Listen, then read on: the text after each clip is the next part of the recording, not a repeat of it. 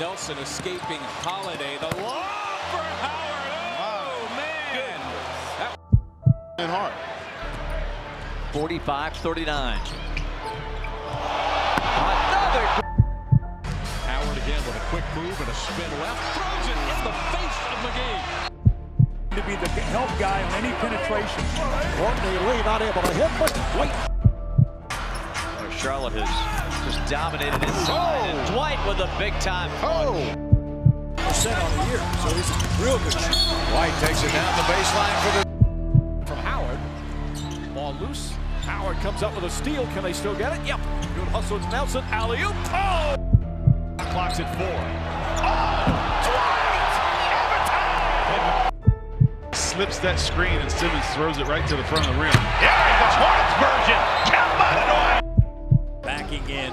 crossover. Oh, what a two-handed slam.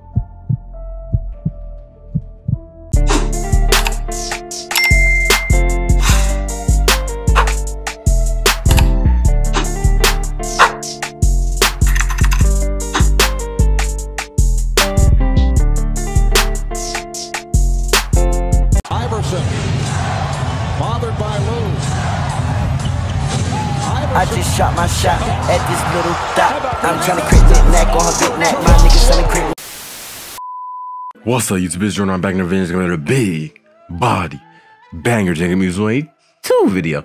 Now, first things first, make sure you like, comment, subscribe. You're on the 4K. You know what I'm saying? Today, I'm the Bill dealer on your local corner, and I'm coming at you with this Dwight Howard next gen build video yesterday. This was requested on next gen. A lot of y'all really wanted to see it. So here it is today. You know, I had a good time making this build. It was definitely dominant, definitely very accurate, and it definitely gave what it was supposed to give. You know what I mean? Uh, with this build, I feel like it was a very straightforward build to make. You know, obviously Dwight Howard doesn't have any shooting, you know, so I could pretty much make it a typical type of big man build, but it's not a typical type of big man build. It is very dominant, very dominant in the post, very dominant in the paint, and very dominant on the block on defense. So I really hope y'all enjoyed the video. If y'all want any new builds, make sure y'all comment it down. I know I had a couple of requests for like Dyson Daniels and Shaedon Sharpe, and they'll get I'll get to them soon, you know. So until then just sit tight keep on requesting any videos that y'all want and i'll get to them without further ado let's get right into the attributes that i use for this dwight howard build video so as you see i made him six foot 10 265 pounds with a 7 8 wingspan and a defined body build i feel like he definitely does look like dwight as well you know in terms of muscu you know like his muscularity is that a word or muscu muscle, whatever. But yeah, and Dwight Howard in real life is six foot ten, so that is what I made him very accurate as well. So with this build, it is definitely a dominant post scoring build. Like literally it's insane. You know, it has a 90 post control, 99 close shot, 95 standing dunk, uh, what like a 79 driving dunk, you know, a 95 block rating, maxed out physicals, you know, like it can literally do everything on the court as a big man, you know, except for shoot, you know. And I mean, in a Dwight Howard build, if you're looking up a Dwight Howard build, I hope that you don't expect shooting because, yeah, you get like a 49 mid range. So if y'all want to try to shoot mid ranges with that, go ahead, be my guest. But Dwight Howard definitely isn't known for his shooting ability. You know, not saying that he can't shoot. In my head, all NBA players can shoot. They're in the NBA for a reason. There's no way you get into the NBA without at least having the ability to make a jump shot, right? So I know that he can shoot. I know that all NBA players can shoot, but it's more about tendencies. Will a player shoot? You know, will a player shoot in mid range? Dwight Howard's not shooting mid range, okay? But he has all of the other attributes here. You see, I gave him high ball handling as well and uh, maxed out speed with ball for his size so that he is able to take it in transition and get those drives because Dwight Howard is very fast, you know, for his size. Well, at least prime Dwight Howard, very fast, you know, speeding up and down the court, getting chased down blocks, catching lobs in transition, you know, definitely a transition threat. Uh, even now, you know, like it wasn't until a couple years ago where he didn't average a, a double double, you know, so definitely is an underrated player and his stats definitely go overlooked just because he's not as great as prime Dwight Howard just because he had different roles. You know, after the Lakers season, I feel like he kind of fell off a little bit, but that's okay. Like fell off in terms of popularity and stuff, but that is all right. But see with this build, like I said, it's very straightforward. You have OP defense, you know, OP post scoring and OP physicals, and that's pretty much all you need for a Dwight Howard build. Now for the takeover, you see I went with stuff blocks and advanced post moves. You have access to the rim protecting takeovers, glass cleaning takeovers, and uh, post scoring takeovers. So you can pretty much combine those however you want. And you see I've built a paint beast, which is definitely a great name for a Dwight Howard build. Shades of Bill Russell, Andre Drummond, and Clint Capela. I definitely do think that Clint Capela comparison is really good. Um, the other two, uh, I don't really think so, you know. But I was hoping to get a Dwight Howard comparison, but I don't think I was gonna get that in this game. But it is what it is.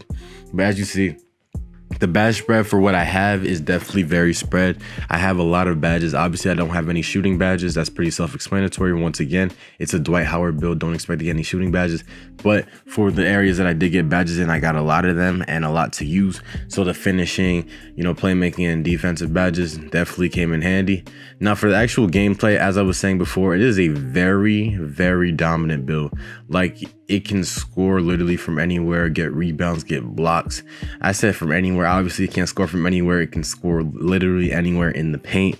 You know, get to the paint, get rebounds, get blocks, get past your defenders. You know, play on the block, do post hooks, drop steps, post spins if you want, you know, up and unders. Like there's just stuff like that that separates It's pretty much a 6'10 slashing defender. You know, it's obviously a two-way type of player.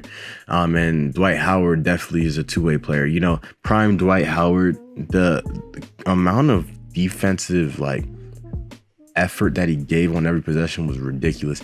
Man's was averaging like over two, three blocks a, a, season, you know, 1.5 plus steals a game. I feel like he won two defensive player of the years. You know, like people forget how amazing Magic Dwight Howard was. That man carried the Magic team with uh what Hedo Turkoglu to the finals. Like that that that's overlooked so much. You know, he beat LeBron James like a center carrying a team is rare. Like we see centers in the league right now that are great, like Joel Embiid, Nikola Jokic, but they can't carry a team to the finals without having some good guard, you know, or some great role player or great whatever. But Dwight Howard did that. You know, it's pretty much like the LeBron James effect. You know, Dwight Howard on the Magic was like LeBron James on the Cavs, You know, like he definitely changed that franchise around for what it, however long they've been in a rut since the Penny Hardaway and Shaq days. You know, and definitely made them contenders again. I mean, they went to the finals, you know, but once he left to go to the Lakers, him and Shaq, I feel like they didn't mesh the most. I said Shaq, him and Kobe didn't mesh the most. Um, but still, he was averaging double doubles, and it went overlooked just because he wasn't as great as Prime Dwight, which sucks to say. But still, you know, this build definitely re- resembles Prime Dwight, you know, to a T, and I had a good time making this build. But yeah, that's pretty much the end of the video. Make sure you like, comment, subscribe. Run over to 4K. I hope y'all enjoyed the build. If y'all want any builds, let me know. But until then, I'm out. Peace.